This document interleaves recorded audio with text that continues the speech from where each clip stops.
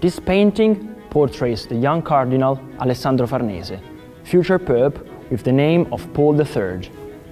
Alessandro became a cardinal in 1493, thanks to the help of his sister Giulia la Bella, who, according to the sources of the time, had a particular influence on Pope Alexander VI Borgia.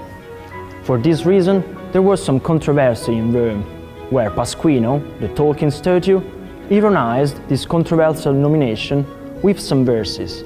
Nevertheless, his career continued until his election as Pope in 1534 and will go down in history as the pontiff of the Council of Trent. Raphael portrays him with a great naturalism. His face beardless, his gaze serene, still devoid of that sneaky grin that we'll have in the portrait of Tiziano over 30 years later. In the right hand, he holds a sheet of paper that pierces the spaces, creating a strong sense of depth. While in the right, you can see a beautiful landscape, typically Toscan, between a river and soft hills. Portrait of Cardinal Alessandro Farnese, Raphael, 1509-1511.